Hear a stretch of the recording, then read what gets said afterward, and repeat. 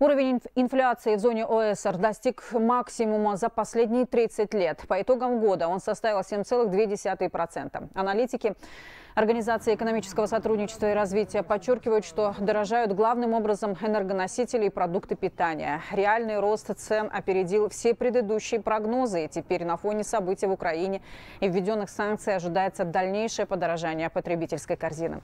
Цены на пшеницу и кукурузу на мировых рынках достигли исторического максимума, так как участвующие в военных действиях страны являются крупнейшими мировыми экспортерами зерна. На стоимость продуктов питания давит и рост цен на горючее и энергию.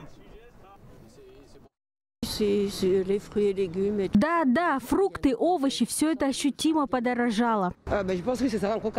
Я думаю, что это ведет к ухудшению ситуации в будущем. Если сейчас цены вот такие высокие, я представляю, что в будущем мы просто не справимся с этим.